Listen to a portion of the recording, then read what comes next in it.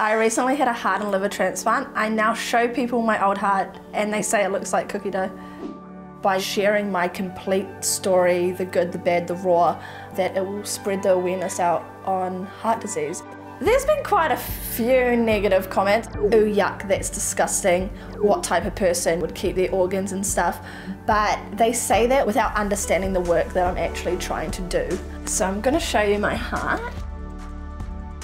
I was born with six different heart defects, which basically means I was born with half a heart and multiple holes in my heart and leaky valves. Throughout my life, I have had a total of five open heart surgeries, two pacemaker surgeries, one emergency lung surgery, and a combined double heart and liver transplant with over 200 minor surgeries. When I was 18, I endured multiple surgeries all at once, which resulted in me going into heart failure at age 19. When I was 22, I was diagnosed with liver disease. A lot of people think that I just got bad luck and developed liver disease on its own, but liver disease was actually um, caused by my heart disease over time, so it is a secondary effect Um, due to my heart disease. When I was 22, I got the flu and that actually deteriorated my heart. They were going to go down the transplant route. It's the only thing that could have saved my life. So although the heart and liver has never been performed in New Zealand on someone born with heart disease, they decided to take the risk because the liver can deteriorate quite, quite fast. In my case, I was waiting for both organs, heart and liver, which had to come from the same donor, which is why I waited um, about two to three times longer than a normal person. I received my call at 6.30 in the morning. I just knew my gut feeling that call was the call and I was super excited. This was my only chance of survival. I knew that a transplant is a pretty big surgery considering I was having both organs done. At one point there is just a machine in the middle of my chest you know, keeping all the rest of my vital organs pumping while they take out my heart and they insert my donor's heart. Um, they replaced my heart first before they got to my liver. I can finally talk and I ate for the first time today. I was in hospital for a total of 53 days in ICU, 14 days in ward, and I was in cardiac rehabilitation centre for 21 days. Good girl. Although I had like a transplant, I do honestly live a normal life of being able to breathe, do everything that a normal person could do. So now I just have no limitations and I'm able to study and continue on with my career and my future. My heart scar goes from the top of my chest down here. Due to all the surgeries that I have had, um, I actually have a whole chest and stomach full of scars, which I absolutely adore and love. I show them to everyone. This scar here is from my liver transplant. Here in New Zealand, due to religious and cultural beliefs, we actually get the option, unlike any other country, to keep our organ so we can bury it with us when we pass away. What I was initially going to do was to bury it um, on behalf of my donor.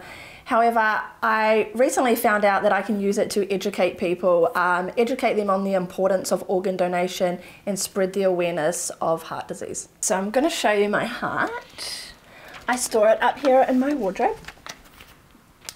And this is it. So one of the most main questions I get asked is why is it so large or if a human heart is this size. Now your heart is the size of your fist, um, but your heart is actually a muscle so when it is damaged or overworked it increases in size and it swells. Um, also, in my opinion, I think it looks like cookie dough. Most people are surprised that I actually keep it in my wardrobe because everyone assumes that organs or body parts actually belong in the freezer. But in my case, it doesn't. Growing up with heart disease, I thought it was super important to educate people on a disease known as the invisible disease. I was hoping by sharing my complete story, the good, the bad, the raw, that it will spread the awareness out on heart disease and actually how serious it is and how much it can impact someone's life. My heart is one of the biggest things to show because of how large it is. It obviously shows how damaged the heart was and just what heart can, disease can do to somebody. There's been quite a few negative comments. They'll comment or tag their friends and be like, oh yuck, that's disgusting. What type of person would keep their organs and stuff? but they say that without looking at my other videos, without actually knowing what I have gone through and the reason behind why I am showing my heart and without understanding the work that I'm actually trying to do. The positive things, it's really nice to see. It really warms my heart uh, with all these parents who have children with heart disease and that my story gives them somewhat sort of hope. And it's one of the main reasons why I do it. I am just preparing some snacks for when Shard comes over and then we're going to sit down and look through old photos and video of my journey. Shad supports me in a really big way because when I'm sick with the flu and all that stuff, he'll make sure that he is there catering to, you know, all the little things, big things I need. It's a sensitive topic for him, but because it's such a large part of my life, I think it's super important for him to see what I have gone through. How do you feel like when I show you these type of photos? Obviously, stuff that you were never able to see. It's like unexplainable, like pretty like abnormal, but it's also like a, always a reminder just to be like, got to be careful. Gotta be careful, yeah. Life can change in any second, right? And that's the thing though, like you have to be healthy now. Like I try. anything, anywhere, anything we do, there's something bad can just, just like that can change. Always have to be like ready to go. Well, it's important for me to actually share these photos with you because it lets you know and it tells you a bit, obviously, about my journey and the importance of heart disease and how it actually affected my life before I met you. And sure that it's possible to actually survive, eh? Survive things like this. I'm proud of you boys. Look how far you've come. And still, still going.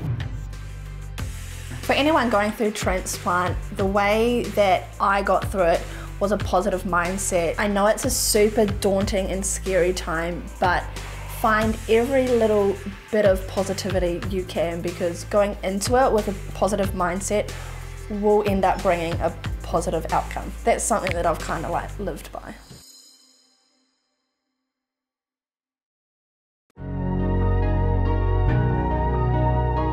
We have two trans kids. Anyone can be whoever they want. I'm just owning it. Our family is seen to be very unconventional. So I had kids and I can't be hot anymore. Like, moms are hot too. People say I look like a pug, but I love pugs. I take that as a compliment. I'm bored of people thinking that I cannot be intimate. I'm a young, single, hot piece of disabled booty. I feel like I'm going to look at myself and be like, who is that? Life is way too short to be hiding. It is my story, it is my truth.